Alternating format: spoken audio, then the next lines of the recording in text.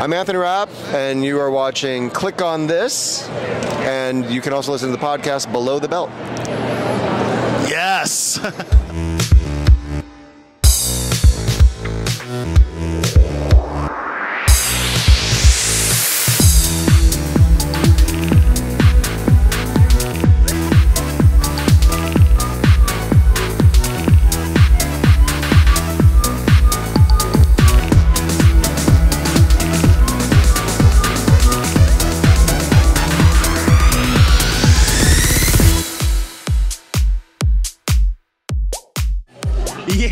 that's right, guys. It's Al Sotto along with. Ali Dash. That's right. We're here at AwesomeCon 2022. 2022. Here with Below the Belt Show. And click on this show. We got some great interviews with Kel Mitchell, our own Mike the General Zod, interviews Beth Broderick from Sabrina the Teenage Witch. Mm-hmm. We got some great artists, including Amanda Connor and Jimmy Palmiotti, Adriana Melo, voice actor extraordinaire Wes Johnson, and much, much more. and some great cosplay artists as well. Um, so stay tuned.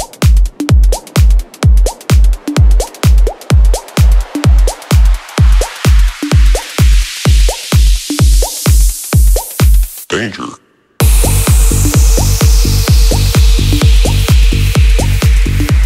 Guys, we're here with actor extraordinaire Anthony Rapp. Thank you. Here at AwesomeCon 2022. Yes. How's your AwesomeCon experience been so far, Been Anthony? super friendly, uh, which I'm not totally surprised by. I've spent a lot of time in DC working and doing a lot of uh, stage performances here, so it's a really big theater town. And so there's a lot of people who have a big crossover feel of like Rent and Discovery, both, or you know, or even in some ways probably tipping more into Rent. Yeah. It's cool. Wow. So, how, why is it important that an actor still goes through their theater roots uh, after doing so much television film?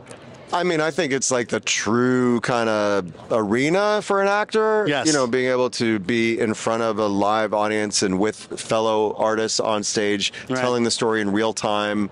That challenge, I think, is kind of the ultimate challenge. Right.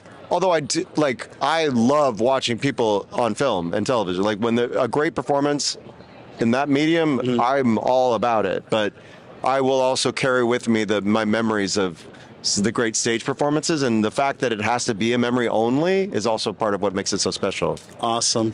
Of course, a lot of fans know you uh, from Star Trek Discovery.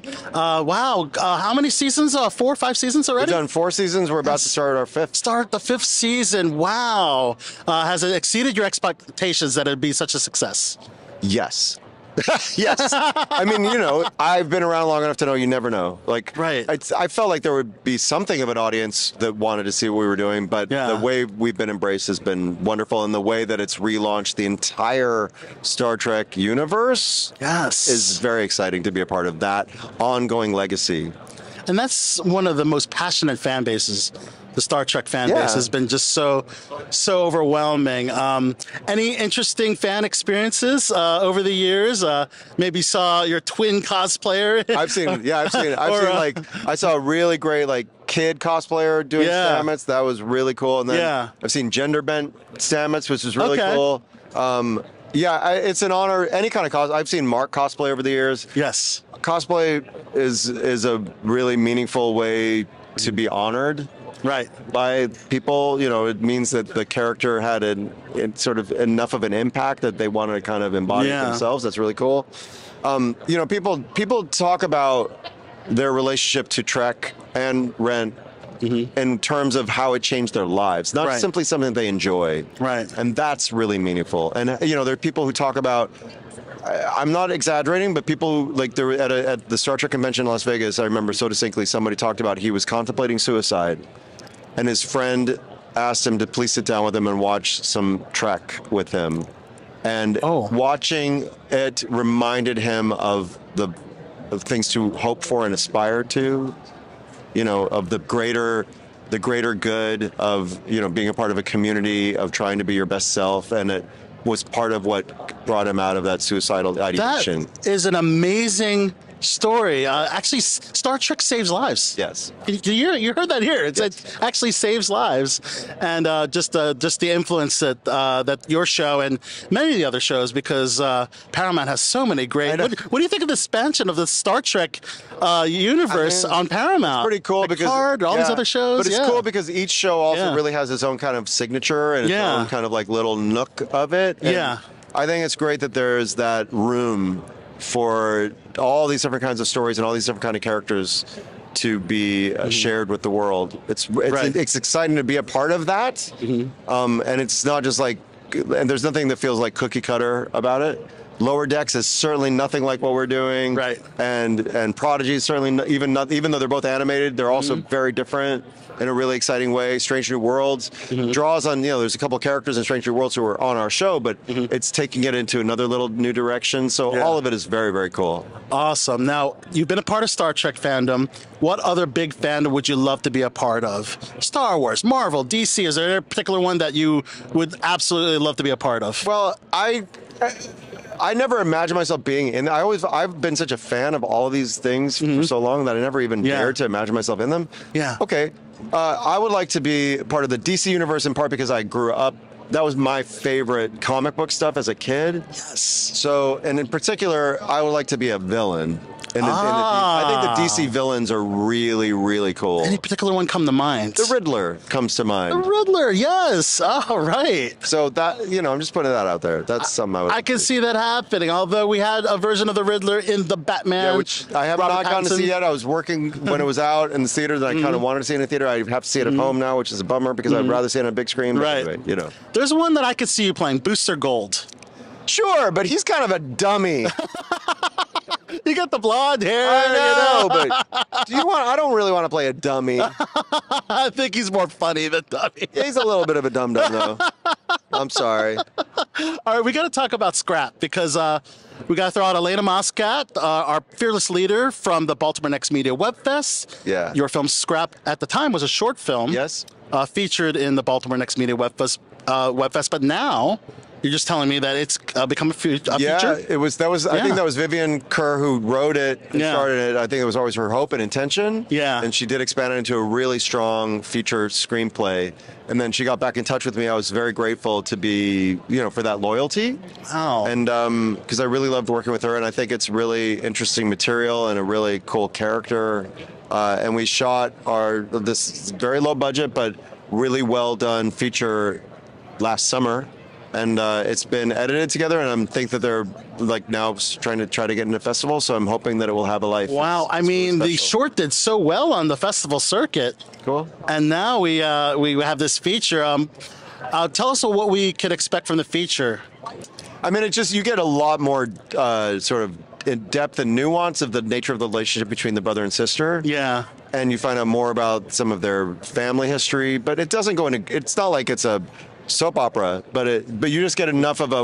You get enough of a sense of the context of their relationship that I think is really, really cool. And then you also get more of a sense of my character's relationship with his wife and what they're going through, Ah. um, and sort of the, the web of family and you know Wow. the the com- the complexities of it. Uh, intricate family drama. Yeah, but like Yes. and also you know funny, but like very it feels very it feels very human in in a way that that's the kind of work that I really respond to as a as a as an audience member, and it's really cool to be a part of that kind of work as an actor. Awesome. Any other awesome projects to promote? Um, I got to actually direct a short film myself, so that's gonna. Oh, we're just in the editing process now, and hopefully that will be seeing the light of day in the festival circuit down the road too. That my friend Noah wrote. Um, it's called Type One, and uh, I think it's come together pretty well. So Awesome. Wow. And of course, uh, uh, season five, green lit of Star Trek Discovery, uh, scrap feature film. A lot, a lot in the works for Anthony Rapp. you know, sure. That's Try- try to keep it busy. Hey everybody, this is Mike the General Zod from Below the Belt Show, and we are here at AwesomeCon. You know, it's it's in the name. So, and I am here with the amazing actress Beth Broderick. Well, thank you. Yeah. Probably most famously known for people our age with um, uh, on Sabrina the Teenage Witch, but she has a vast career that uh, has accomplished a lot. And so, first of all, thank you very much for uh, thank you very much for taking the time with us. Of course, my pleasure. My pleasure. And I guess the first thing I'd, I'd like to ask you is uh, since you know you are known to uh, to uh, most people from Sabrina the Teenage Witch, like what? How do you like? How do you feel that even many years later, it's like such a part of like the public consciousness? It's such a privilege to be part of something that has has gone on from generation to generation to generation, making people happy and making people laugh. And, mm-hmm. you know, we're still pretty much running every day in every country in the world. And that's a phenomenon. I, I so, can. I mean, I could never argue with that. It's, it's, a, it's a gift and it's a pleasure. Oh, that's that's so great to see, and like you know, you get to you get to come to great events like this. Mm-hmm. Yeah, I would love to meet people. We're so grateful for our fans. And I'm always grateful to be able to spend time with Melissa and Caroline. So it all works out. Of course. What is, what is your opinion, for instance, of the like? Were you familiar with Sabrina at all before you took the job? I really wasn't, but when they sent me the script, I read it and I said to myself, well, I'm going to be Aunt Zelda and it's going to be a hit. I just knew it. I have a. Uh, it's it's it's kind of a funny little anecdote. I mean, it's. Um, I'll say this: when when the show ca- first came out, you know, I wasn't exactly the target market for it because I was already in like high school at the time. I was a high school boy, and uh, but I remember one of my best friends in high school watched it every week, and for the reason why he watched it, he was like, "Oh my God, they're all so hot on there," and I'll never forget that. And that is always my, my one defining memory of Sabrina the Teenage Witch. Oh, that's so funny. That's so funny. I have a lot of very grown men, even in the beginning, who used to come up to me and say, "Can I can I take a picture with it? it, it it's for my child," and I'd be like, "I don't think it's for your child." but yes, you can. Have you? Um, uh, there's a like. Um, what would like any of any other of your vast body of work that you'd like to revisit the way Sabrina's been revisited? Well, gosh, I mean, I've done so many indie movies that I've just loved, and and lots of different series. But I think I think you can only do one iconic series to this degree in a lifetime. Of so course. I'm I'm you know I just finished a miniseries for HBO called Love and Death, and I just finished a movie called One True Loves. And uh, so I, I keep busy, Mm-hmm. and I, it's always fun to do something new. I just came back from Kentucky on a movie called The Nana Project. Which Oh, nice. That's going to be a lot of fun. Is there anything you want to say about any of these? Uh, any like any more details you want to give? Well, I think you know. I think One True Loves is going to be huge, um, and I think the miniseries Love and Death is going to be a big hit for HBO. And Nana Project starts stars Mercedes Ruehl and Charlene Tilton and all kinds of really fun people, Oh, and that's going to be fun. Fantastic. I noticed uh, you actually like. Have you? Uh, you were you were on a couple episodes of the remake of Sabrina, the one that came out um, on the the one that's on Netflix. Yeah. And how was that? Like, was it fun to It was super. It was super fun to go there, and they were so excited because they grew up watching the show, Mm-hmm. and so it was a really fun experience for all of us, for them and for us. We enjoyed it. Awesome, awesome. And um, I also uh, I was I was pouring through your bio before we uh, you know before we started, and I noticed uh, you were also really active in like you you founded a, um, a um, you founded a charity for AIDS AIDS victims. Yes, in, in very early. It was the second program in the country of its kind. Yeah. Called Momentum, and yeah, we provided gifts and and uh, like groceries and and and meals and and a way for people to be less isolated because isolation was a huge problem then. And um, yeah, 1984 when I was 23. That is amazing. I mean, I think back to when I was 23 and I could barely get out of my house. So I mean, I quit like- acting for five years because we had to raise money. I mean, I mean, it was really very, um, it was a very difficult time. Oh. But I was grateful to be on the front lines and helping. So, I mean, as long as you're trying to make the world a better place, you can tolerate the pain, right? Absolutely, absolutely, and that is uh, that's a legacy to be very proud of. I mean, to, to think that, especially at that time when AIDS was I mean, AIDS was People known, but people were terrified. They were afraid, and people, when they're afraid, it doesn't bring out the best in them. Of course. But there were also so many people that, that stepped up and that gave and that cared. I always say, you know, I was very privileged during that time to know more than my fair share of heroes. Oh, well, that is really great. Well, thank you so much for taking the time Of for course. us. I'm Ali Dash. I'm here with Below the Belt Show and click on this show with the very talented Kami Garcia. Hi, how are you? Good. How are you? How's um, AwesomeCon going for you? Good. Wonderful. Um, so you are such a versatile act, um, author. You write graphic, um, young adult graphic novels, um, novels, as well as now more adult um, comic series. Do you have a favorite um, thing to write? I like writing graphic novels for either age. I like writing scripts more than I like writing novels, prose novels. That's awesome. Any scripts in the works? I know Beautiful Creatures had a film, um, and we never got any more. Uh, is there any No, plans? because Warner to- Brothers has, I don't know, because Warner Brothers has and Alcon Entertainment have the rights to Beautiful Creatures still. I have um, I have a Constantine graphic novel coming with DC uh, on, I believe it's the 28th of September.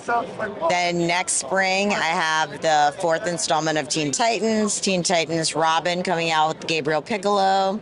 Awesome. And then I have a series with Tapas, the Tapas app. Um, my Legion series is going to Tapas, and there's going to be an episodic prose novel, and then we're adapting the three books into graphic novels. Oh, that's so those wonderful. episodic, I think, starts in August or September, and then probably around February the um, graphic novels will start.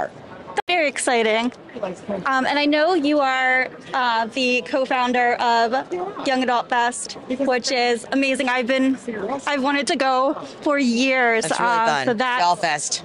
And now it's like much bigger, and it has a board and lots of people that work on it. That's fantastic. Do you um, see it um, venturing out to anywhere else Yeah, there's a the sister festival. The biggest young adult festival in the country is the Sister Festival YALLWEST. That's in LA every year. We'll have, definitely have to make plans for the East Coast as well, because I would love to go. Oh yeah, it's Um, really fun. It's YALLWEST. The date changes. YALLFest is always the second Friday and Saturday of November. How is um? Do you find the difference of being here, like an awesome con, versus um, the the book world? the book community is is such a huge like. Uh, Um, I mean, it's just it's just different. Um, I mean, a lot of like, the people here also read my novels, I know. so there's a lot of crossover. That's and I've been going to Comic Con San Diego and New York for my novels since New York started, and since um, 2008 for my novels. that's fantastic. So I think there's a lot of crossover when you write fantasy. Yes, definitely. There's definitely a lot of crossover. Um, and are you familiar with the big world of BookTok? And do you have any plans of um, going I on mean, book I'm talk not really. I have a TikTok away? account, but I'm not like I'm a little old for TikTok. I think. I love going on to like find things because I like to follow other TikTokers and BookTokers and like find books and comics. But I, I mean, I think I have to figure out what I would do. Like, I don't really. Re- I mean, I recommend books sometimes, but um, other than that, like, I don't know how amusing I would be on TikTok. So it's I'm on Twitter a lot, and um, Instagram are the ones I'm the most active on. Awesome. I have a Facebook, but aside from like posting kind of like information, I'm not really I don't really love Facebook. Now that they're like, you know, they're now that you can't really see the people you follow, it's Yeah. not that fun. So And- Twitter is still my favorite. Very cool. And do you have any passion projects or anything that you like would love to um, take part in or write? I mean, I'm really working on all the stuff. I have a couple projects that I can't talk about, and then I have a middle grade graphic novel, original graphic novel that's going to be coming out. We're not sure the date yet with first second, so that's fun. And then, I mean, I have a lot. Like, I have more work than I can get done. Because I have to write the Tapas stuff. I still am doing Teen Titans is continuing, is ongoing, and I'm doing the middle grade. So That's awesome. I love that uh, you have such a versatile age range um, for your novels, and I uh, taught for 17 years, so I like writing for kids and teens that's awesome. Well, thank you so much um, for taking the time to talk to us, and um, we look forward um, to all of your new novels and graphic novels and seeing more. Thanks so Uh, much. You're welcome. Hey everyone, this is Mike the General Zod here uh, from Below the Belt Show here at AwesomeCon. And as always, AwesomeCon here in DC lives up to its name. And I have the distinct pleasure to uh, talk to Jimmy Palmiotti and Amanda Connor, two absolute legends in the comic book industry. And first of all, I can. Uh, it, it's a it's a pleasure to talk to both of you. And um, I can first of all, how's it how's it been today? Like, It's it's been good. I mean, you know, for cons are coming back right after COVID, so it wasn't like crazy today, but it was a nice, steady busy, which we kind of prefer anyway. So it was good. Cool. Yeah. That was nice. I got to draw, so it's a good convention. yeah. And one thing Amanda can do is draw. She's uh, you probably uh, she's. Probably, at least in, in my mind, the thing I, I know you best from is both. Well, actually, both your work on Harley Quinn, and uh, but I know there's uh, like a ton of other stuff. I mean, like you know, you can even see in this poster like your amazing She-Hulk, your amazing the Power Girl. yeah, Power Girl. Oh yeah, Power Girl. How could I forget the boob window? So um, I guess the uh, one of the one of the biggest questions I have is like, uh, tell me tell me some of the biggest projects that you're proud of and like stuff you're working on now. Well, I mean, I, I think one of my favorite pro- projects that I've ever worked on is Power Girl, Harley Quinn, and the Pro, Uh-huh. and and some Painkiller Jane also. And I know I'm forgetting something because it's the end of the day at the convention. Maybe Vampirella. Yeah, Maybe. and and I'm so tired and I can't remember them all. well, that's that's quite all right because yeah, the uh, like one of the ones I'll, I'll always uh, remember, and I think you wrote it. It was an issue of Harley Quinn where you kind of stole a, a, a storyline from Fantastic Four with the uh, the cows, where you As a rebirth. Yeah. yeah. That but was, yeah, that was me uh, going back to my Fantastic Four days. uh, it's when the scrolls turned into the the Yeah, cows. yeah. I kind of did it with another aliens, and then they got slaughtered. yeah. Uh, did you get did you get a, did you get a lot of like uh, pushback or no, anything I, from you know, that? we, we slaughtered them and they made hot dogs out of it, and then everybody became zombies because they ate the hot dogs that were made out of aliens. So it was just, it was my little love letter to Jack and uh, and Stan. Okay, well Yeah, that's yeah. that is really really great. And speaking of love letters to old Marvel, I mean it's a, a it's a um, it's kind of an understatement to say you're a big reason why Marvel is no longer it isn't bankrupt and it's become what yes, it's thing yes, they today. They should write me a nice check one day, uh, but it will never happen. Uh, but anyway, well, yeah, when we uh, when Joe and I did Marvel Knights, they were in cha- they were going in chapter eleven. yeah. And um, so when you're sort of like panicking in, in that space, you kind of will do anything. And one of the things they did is hire us to come in and do Marvel Knights. And they gave us the penthouse of the building on Park Avenue. And we picked four titles to run with. And it worked out pretty good for them. It put them uh, back in a good place uh, where uh, studios started looking at the characters again. And, uh, and then they then they got bought by Disney for four billion dollars. Exactly. And, uh, yeah. and- So do you when you watch uh, any MCU movie, are you like, damn it? No, I, I sit there and I, I wait for the credits to see if I have a thank you. Okay. Uh, so far, only one have done it. One movie has done it. Which one was that?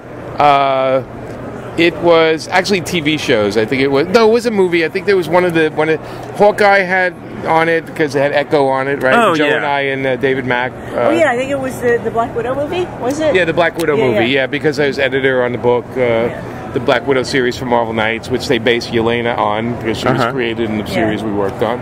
Um, but the other ones they didn't. I, I was I waited for Black Panther like the whole movie, and I kept looking for my name, and I'm like going, okay, not only did we co-create some of these characters in Yeah. the movie, but I didn't even get a thank you. and I so that was like a nasty phone call I had to have and say, why did the hell wouldn't I get a thank you on this?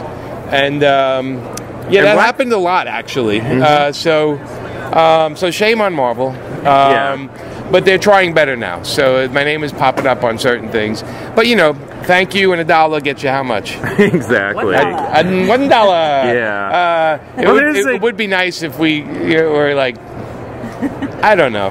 Given a T-shirt or something, you know. Well, there's a there, there's been a lot of talk now about like you know a lot of creators of like a lot of these properties. I mean, they are fighting back. They're getting uh, a lot more credit and uh, Well, they're not getting a lot more money, so uh, Okay. they're getting thank yous. Some of them get a credit here and there. Some get a couple of dollars. Uh, DC's been a lot more generous. Have they? Uh, yeah, yeah, than Marvel. Sure, sure. Um, but it's still like, still we, we probably make less money than the uh, key grip number seven guy. Oh, you know. okay. And uh, you know, and then you watch a movie where it's like they take parts of the comics. The screenwriter takes parts of the comics and makes it into a movie but only the screenwriter is credited and not the guys who actually wrote the original stuff. If you think about it, you watch these movies, they're taking like three or four writers' things from the Uh-huh. comic, and then a screenwriter is smashing them together. Well, I think the credit should read screenplay by this guy, original stories based on these guys. I mean, it's just, it's, it's pretty shameful Yeah. how they don't take care of their They people and they don't, credit. respect the creators so Yeah. much. yeah, the creators are look. Image Comics was a fight pushback. Event Uh-huh. Comics was a pushback. Um, these companies have guys that are in comics running parts of them, right. and shame on them for not stepping up for the creators. Uh, Yeah. So that's why a lot of creators like us we have to go and do our own things because at the end of the day, uh, there is no there is no retirement, there is no 401k, and there is no medical coverage, no matter how big you become at these companies. So Yeah. it's really sucky. I love the people love the movies, but if even one percent of the movie profit was given to creators, we would all be in such a better place. But sadly, that doesn't happen. Well, I mean, there, there, there's always the hope. I mean, Yeah, I hope. guess- you know, hope is, uh, and what's the other one? Or is it uh, prayers and what's the other thing? Thoughts and Thoughts and prayers. prayers. Yeah, we, it, it, hope goes along with thoughts and prayers. If you want to put them together into a nice little gift bag, uh, that'd be pretty good. Well, all right. Uh, See, it- we talk about anything. It's okay. Yeah. Absolutely, I did. I, I was kind of curious. Like, do you still like? Are you are you still friends with Joe Quesada? Yeah, yeah. Oh, Joe and I okay. talk. Yeah, we still own Ash and Painkiller Jane together. So Oh, yeah, I still talk to Joe. I wish. I think last time I talked to him, I wished him a happy birthday uh, a while back, and uh, yeah, I mean he's you know he's now he's on to other things.